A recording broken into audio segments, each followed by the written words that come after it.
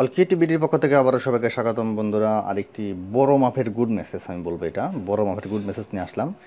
তো এই মেসেজটি নিয়ে আলোচনার শুরুতে বলে নেই, বুঝতে পারছেন বর্তমান অব মানে দেশের অবস্থা প্রেক্ষাপটে চাকরি বাকরির বাজার কিন্তু খুবই করুণ একটা অবস্থা। তো এমতো অবস্থায় আসলে যারা চাকরি করতে আগ্রহী, তাদের উচিত হলো যখন যে নিয়োগটি পাওয়া যায়, সেইটাতে আপনার আবেদন করা। এতে আমার বিশ্বাস, আপনি এক মাস যদি চেষ্টা করেন, কোথাও না কোথাও থেকে আপনি একটা ডাক পাবেন, আমার একটা বিশ্বাস।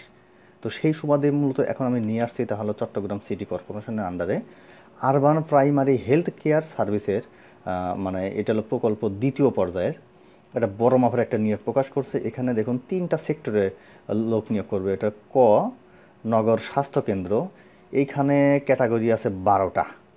এই বারোটা ক্যাটাগরির ভিতরে আপনারা ছেলে মেয়ে সবাই আবেদন করতে পারবেন এবং আবেদন শুরু অষ্টম শ্রেণি এসএসসি এইচএসসি স্নাতক, যারা ডিপ্লোমা কমপ্লিট করছেন তারা সবাই কিন্তু এখানে কম বেশি আবেদন করতে পারবেন। এবং স্যালারি কিন্তু আমি খারাপ বলব না। দেখুন, অষ্টম শ্রেণি পাশেও প্রায় মানে পনেরো হাজার টাকা স্যালারি এসএসসি পাশে ষোলো হাজার সামথিং এবং আদার্স ফ্যাসিলিটি তো থাকছেই। আমি সব কিছু মোটামুটি আপনার সাথে আমি বর্ণনা করব। আমি জাস্ট বেসিকটা আগে দেখায় নেই। দেন দুই নম্বর দুই নম্বর ক্যাটাগরিতে যেটি আছে, তাহলে এখানেও কয়টা আছে? দুই নম্বর সেক্টরে আছে ইন টোটাল ইন টোটাল এখানে আছে পনেরোটি ক্যাটাগরি তো পনেরোটি ক্যাটাগরিতে কিন্তু বেশ কিছু লোক নিয়োগ করবে। এমন না যে জাস্ট ল্যাবরেটরি টেকনিশিয়ান কিংবা ক্লিন গাইড বয় এই যে এখানে হয়তো একজন নেবে তা না, তারা কিন্তু একাধিক লোক নিয়োগ করবে। এখানেও কিন্তু দেখুন অষ্টম শ্রেণির পাশে পনেরো হাজার টাকা স্যালারি থেকে শুরু করে এসএসসি এইচএসসি স্নাতক ডিপ্লোমা সব কিছু যারা লেখাপড়া কমপ্লিট করছেন তারা কিন্তু সবাই আবেদনটা করতে পারবেন। দেন খ গ নম্বর প্রকল্পে এখানে ক্যাটাগরি আছে, একটা তো তিনটা ক্যাটাগরি আছে। তো এই তিনটা ক্যাটাগরিতেও কিন্তু মোটামুটি খারাপ বলব না। দেখুন এসএসসি পাশেই আপনি পনেরো হাজার টাকা স্যালারি পাচ্ছেন।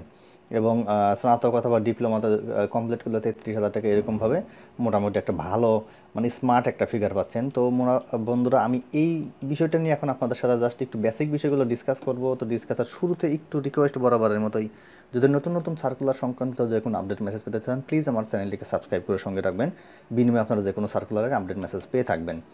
তো আমি এই সার্কুলারের লিঙ্কটা আমার ভিডিও ডিসক্রিপশনে দিয়ে দিচ্ছি এবং আমার প্রথম কমেন্টেও দিয়ে দিচ্ছি। আপনারা ওইখান থেকে লিঙ্কে ক্লিক করলে সার্কুলারটি পেয়ে যাবেন। আপনারা অবশ্যই নামায়া পড়বেন বিকজ ওইখানে সার্কুলারটা একটু লম্বা কিসিমের তো, যে কারণে এটা পড়তে কষ্ট হবে। আপনার নামায় এরকম জুম করে পড়বেন, আমার বিশ্বাস খারাপ লাগবে না, ভালো লাগবে।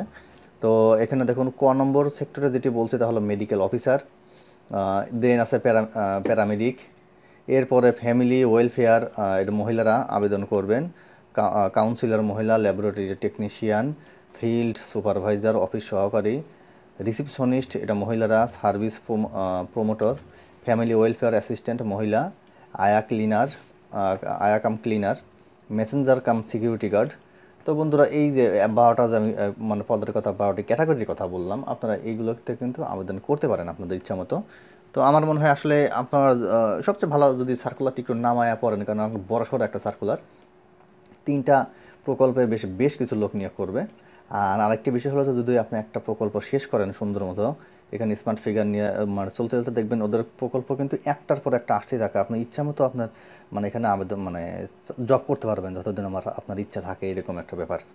কারণ একবার যে একটা প্রকল্প শেষ করে নেক্সট প্রকল্প কিন্তু তাদের একটা অগ্রাধিকার থাকে ওকে তো আবেদন, আবেদনপত্র আগামী একুশ বারো দুই হাজার বিশ তারিখে অফিস চলাকালীন সময়ের মধ্যে ডাকযোগে অথবা সরাসরি প্রধান স্বাস্থ্য কর্মকর্তা চট্টগ্রাম সিটি কর্পোরেশন ও programme manager urban primary health care services delivery প্রকল্প, দ্বিতীয় পর্যায় বরাবর স্বাস্থ্য বিভাগ, প্রশাসনিক কার্যালয়, সিটি কর্পোরেশন, জেনারেল হাসপাতাল কালীবাড়ি রোড, সদরঘাট, চট্টগ্রামের নিমতলায় রক্ষিত বক্সে জমা দিতে হবে। তো বন্ধুরা, আপনারা জাস্ট একটু সার্কুলারটি নামান, নামানোর পরে মনোযোগ সহ পড়েন। পড়ার পরে কীভাবে কী করতে হবে সব কিছু কিন্তু এখানে আপনারা বেশ ভালো মতোই বুঝতে পারবেন, কোনো সমস্যা নেই। আর একটা বিষয় হলো ওরা কোনো প্রকৃতির মানে এই দেখুন নয় নম্বরটা যেটি বলছে, তাহলে কোনো প্রকার সুপারিশ, তদবির টেলিফোনের সুপারিশ প্রার্থীর অযোগ্যতা বলে বিবেচিত হবে।